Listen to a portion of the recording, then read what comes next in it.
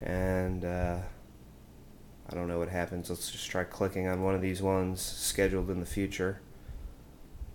Alright, News Express. I have no idea what that is. Alright, so my options are it brings up a timer screen. So when you select a show in the in the search results, it'll bring up a timers field, and my options are to create, edit, or delete timer event. So let's try creating one. And the option is to alert me Monday through Friday, weekly, daily, or once. And then over here, it's already got highlighted the channel and that it will tune and it's set to auto tune. So basically, you can set it to, I assume, flash a notice on the screen hey, so and so show is about to start. I'm going to flip the channel. Or do you want to go there? Um, and I don't know exactly how that works. But it's probably pretty basic like that, like the old school uh, set top box alerts. Alright, and then when you go to the next screen, it has the, the details of the timer up so you can confirm or adjust.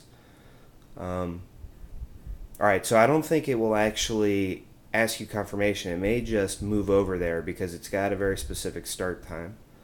Uh, but I could be wrong. And I assume this is the sort of technology that's also going to go into the higher end version of this box that has DVR capabilities. Formerly the TR50. I don't know what that is going to be branded eventually or finally. Alright, so now there's a timer conflict. Um, I must have adjusted something while I was talking. So we can delete one of them or the other, and this is pretty cool to have some conflict management in here. Of course, the functionality is basic. It's not going to record the show for you. It's just going to change the channel. But it's still kind of cool to have. Why not? Alright, so now it dropped us into the setup screen. We got closed caption, timers where we just were audio setup. Let's see what options we have. Audio language, alternative and primary, stereo, and mono. Let's see what's in system setup. Installation, I assume is what we already did. Channel setup see what an activity standby is. Maybe there's a screensaver. Enable this feature to automatically put the converter in standby after a period of inactivity. So again, so maybe it's not a screensaver. Maybe it just kind of puts the whole thing to sleep. Uh, and the default was four hours. Yeah, it's four, five, six, seven, or eight hours are your options. So it's not like a screensaver you can flip on after 10 minutes system information. I think we saw that screen. Pretty boring.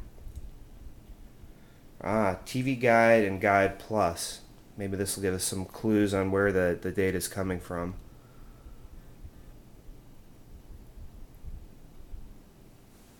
So what it's going to do is, I guess there's some metadata that's coming along with the guide, and by by flipping the the bit on this, um, the timers break apparently. The standby breaks and the parental locks break. So i'm not sure what it gives you um, in exchange. So maybe there's two sources of data that this box can pull from. And if you use the default all the DTVPal features are enabled. If you use the TV Guide Guide Plus data, uh, the DTV PAL can't read the metadata that comes with it and do anything with it. All right, confirmation. All DTVPal digital features will be disabled and the box will reboot. It's pretty frightening. All right, let's see what happens.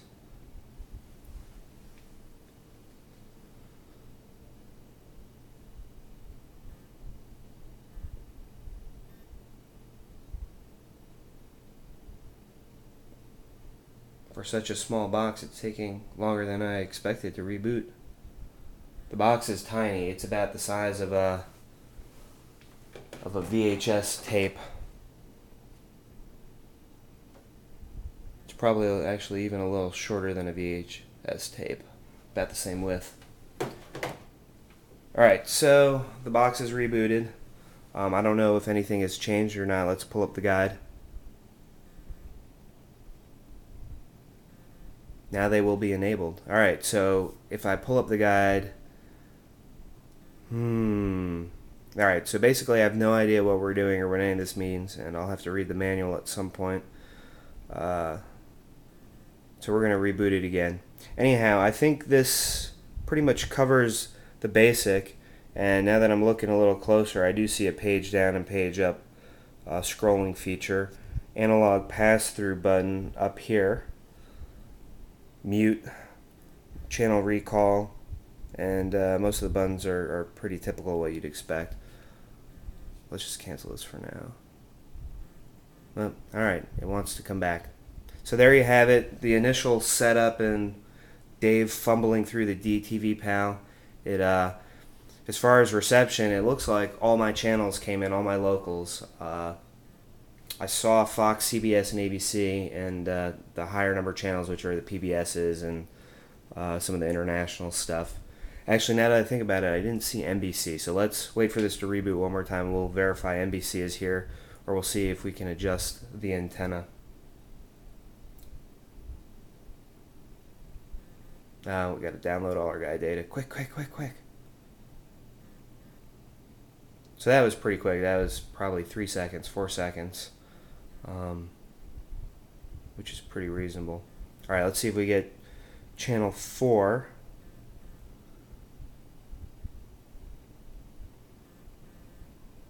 So we actually don't have channel 4 in here, which is NBC, so it hasn't picked it up. And that may be the box and maybe the antenna, um, or just maybe, you know, where I'm located.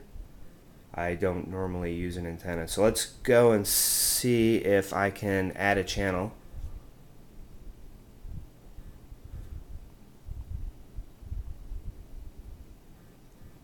So I'm going to go to channel setup here. Find new channels, add a new channel. Let's do that. So this would be channel 4.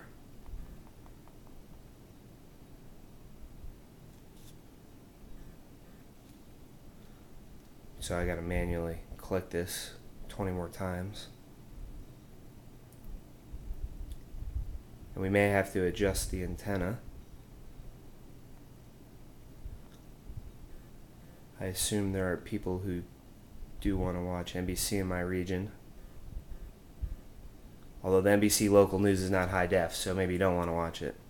Alright, so I've put channel 4 in there, and now maybe I'll put scan in. And at the bottom right it says signal strength 0.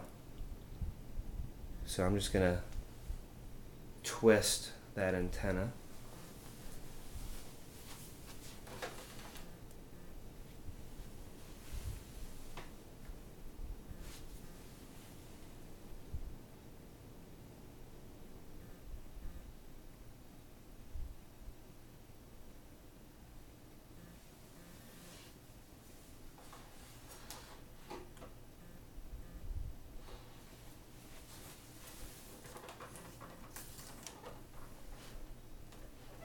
Alright, let's just pull out all pieces of the antenna and see if we can find NBC.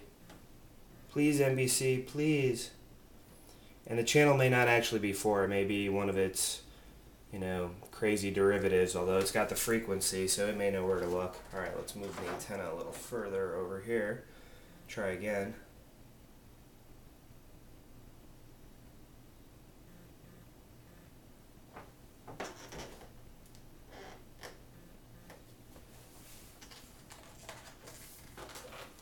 Alright, so it's not picking up NBC. It probably requires more futzing of the antenna. Just as an FYI, I set this up in my bedroom near the window uh, to improve our odds of pulling over the air signals. And again, it may be my location, maybe the antenna. I don't know that it's the box I don't use over the air, so I'm not sure what to expect as far as reception. So let's just go back to live TV and and hope that NBC is out there somewhere. There you have it. DTVPal. Dave Zatz. That's not funny.